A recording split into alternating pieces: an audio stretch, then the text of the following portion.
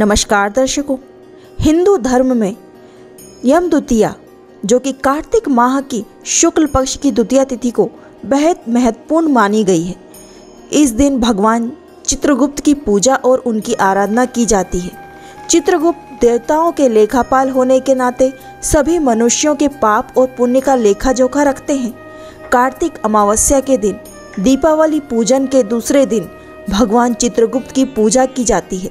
ऐसी मान्यता है कि चित्रगुप्त की पूजा से मनुष्य को सारे पापों से मुक्ति मिल जाती है और वे स्वर्ग के भोगी होते हैं।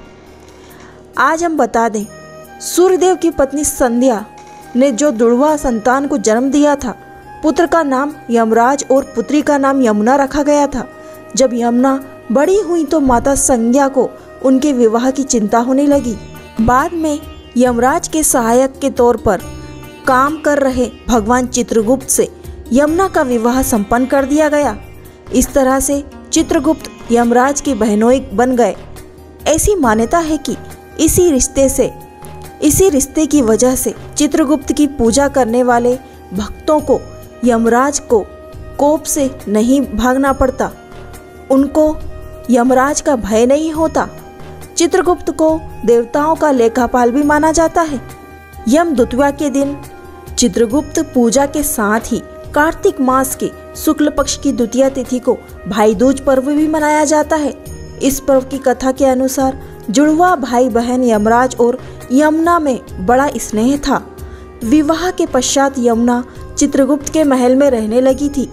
बीच बीच में वह अपने भाई यमराज को कुशल क्षेम पूछने के लिए घर चली जाती थी, लेकिन यमराज कभी उनके घर नहीं आते थे। इससे यमुना काफ़ी दुखी रहती थी। एक बार अचानक यमराज कार्तिक मास के शुक्ल पक्ष की द्वितीय तिथि को बहन यमुना के घर पहुँच गए। यमुना को अपने घर में देख यमुना की खुशी ठिकाने नहीं रही। यमुना ने पकवान और मिठाइयाँ भाई को खिलाने के लिए कुशल क्षेम पूछा। यमराज ने अपने आने प्रयोजन बताया और कहा कि मैं तुम्हारे घर नहीं आता तो तुम दुखी रहती। मैं तुम्हें दुख नहीं पहुँचा सकता था, इसलिए मैं अचानक तुमसे मिलने आ गया।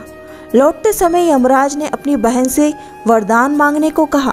यमुना ने कहा कि आप प्रतिवर्ष इसी दिन मेरे घर पधारने का वरदान दीजिए। बहन का भोलापन देख यमराज भावुक हो गए और उन्हें आशीर्वाद दिया। यमराज ने कहा, इस दिन जो भाई अपनी बहन के घर जाएगा उसका आतिथ्य स्वागत और स्वीकार कर उसे उपहार देगा। उसे उसे काल योनि में कभी भयभीत नहीं होना पड़ेगा। मैं उसे अकाल मृत्यु कभी नहीं मारूँगा। भाई दूज, यम द्वितीया के दिन जो भी भाई अपनी बहन के घर जाएगा, उससे स्नेह पूर्वक तिलक करवाएगा, प्यार बांटेगा, उसे मैं कभी भी अकाल मृत्यु नहीं दूँगा और कभी भी उसे नरक की प्राप्ति नहीं होगी। वह बैकुंठ लोक स्वर्ग की प्राप्ति करेगा।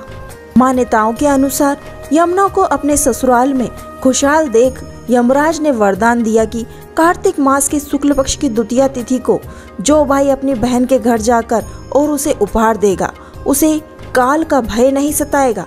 इसके अलावा इस दिन मेरी बहनों चित्रगुप्त की पूजा भी की जाएगी। उसके दुखों का नाश होने के साथ साथ उसके पापों से भी मुक्त कर दिया जाएगा।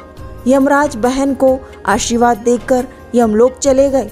माना जाता है कि तभी से भाई दूज की परंपरा शुरुआत हो गई और यम द्वितीया के दिन यम के नाम का दीपक भी जलाया जाता है, जो हर बहन अपने घर की चौखट पर, दहलीज पर, दक्षिण दिशा की ओर चौमुखी दीपक जलाती है। उसके घर में कभी अकाल मृत्यु नहीं होती, उसके भाई की हमेशा लंबी आयु बनी रहती है। तो दर्शकों, आप लोग और भी उपाय जानना चाहते हैं तो हमारे द्वारा, हमारे चैनल के द्वारा सुन सकते हैं। बहुत ही सरल और सुंदर से उपाय रहते हैं। आपके जीवन में बाधाओं को दूर करने वाले हर एक उपाय हम अपने चैनल पर कोशिश करके डालते हैं। ताकि आप लोग को अपने जीवन की समस्या का समाधान मिल सके। हमारे चैनल पर नए हैं तो चैनल को सब्सक्राइब कीजिएगा। अधिक से अधिक लोगों तक इन वीडियोस को पहुंचाइएगा, ताकि उन्हें भी इन उपायों को करके अपने जीवन में आ रही कठिनाइयों का समाधान प्राप्त हो। मिलते हैं अगले वीडियो में। श्री शिवाय नमस्तुभ्यम। जय माता